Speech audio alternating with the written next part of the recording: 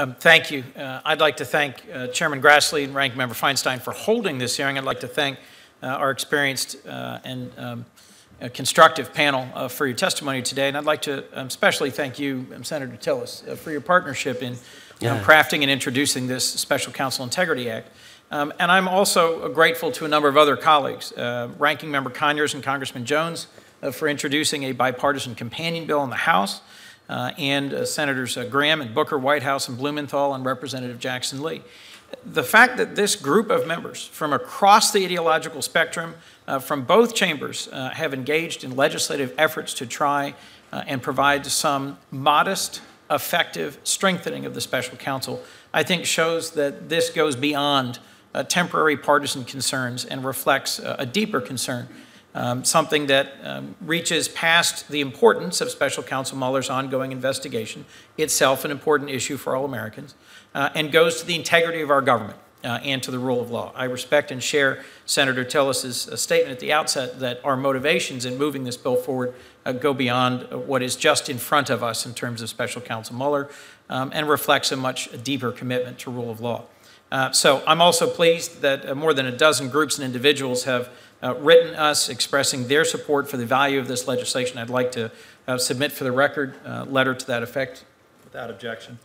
Um, and if I might, uh, just to pick up um, where some of that questioning uh, just was uh, from Senator Cruz, Professor Vladeck, um, is it possible um, for uh, commentators, including even a justice, uh, to uh, praise um, Justice Scalia's dissent in Morrison, um, yet it's still to be good law. In fact, I think you've said the Supreme Court has cited Morrison dozens of times without overruling any portion of the decision. Is that correct?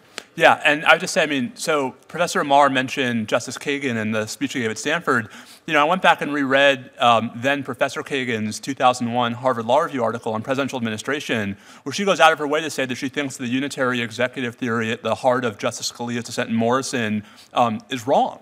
Um, and so I don't know why we can't simultaneously be of the view that there are great opinions written by justices in history with which we disagree on the constitutional law. So if I could ask just bluntly, is Morrison good law? To me, it is, and I think to a majority of the court, it has been. Let me ask, you made an important, I think, statement earlier, which is that all these two bills do is guarantee a right to judicial review that already exists. Could you just briefly explain that? Sure. I mean, so I, I mentioned the Nader versus Bork case from 1973.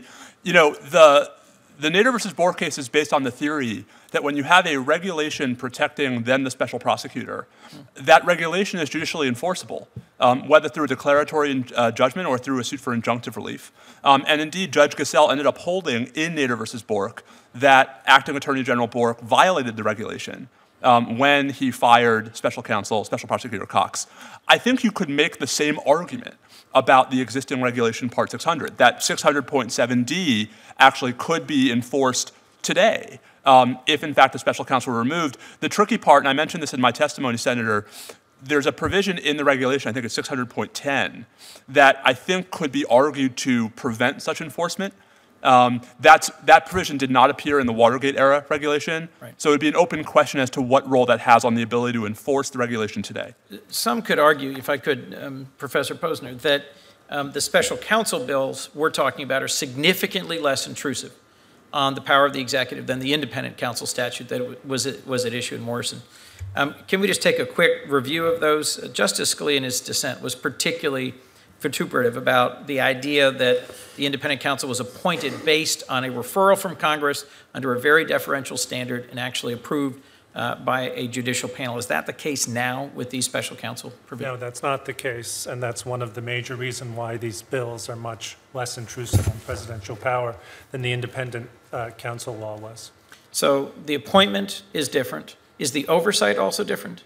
The, yes, um, the independent counsel had uh, significant independence, budgetary independence, and independence over investigation.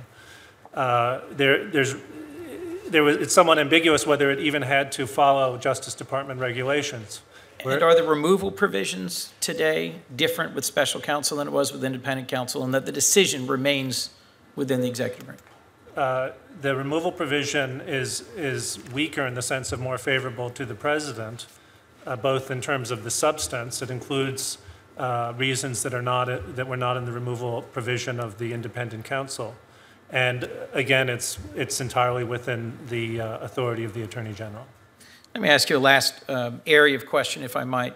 Um, Scalia's core argument in the dissent is that the president must have complete control over the law enforcement function.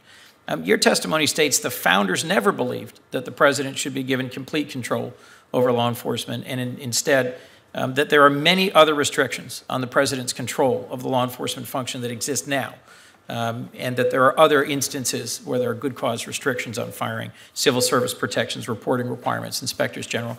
Could you just briefly explain why that's relevant here as we consider whether or not the protections we are trying to advance um, violate separation of powers? Well, uh, yeah, that's a, a complicated question, but to be brief, many people put a great deal of weight on the founding understand, the founders' understanding of the Constitution. But in this particular case, what the founders' views were were, were fairly ambiguous. There, are, uh, there is evidence, though, that they would never have taken the position that uh, Justice Scalia attributed to them.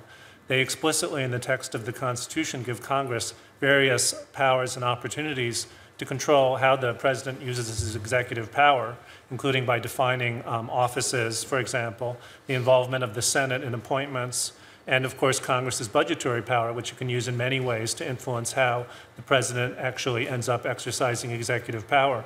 This idea that the branches are completely separate and autonomous, that one sometimes hear, is not actually uh, in the Constitution. They're allowed to influence each other in many ways. Thank you, Professor. I'd like to thank the whole panel. You've given a number of constructive suggestions, some of them more aspirational, some of them more tactical, uh, but in any event, all of them constructive, and I very much look forward uh, to working with my colleagues to advance this legislation. Thank you.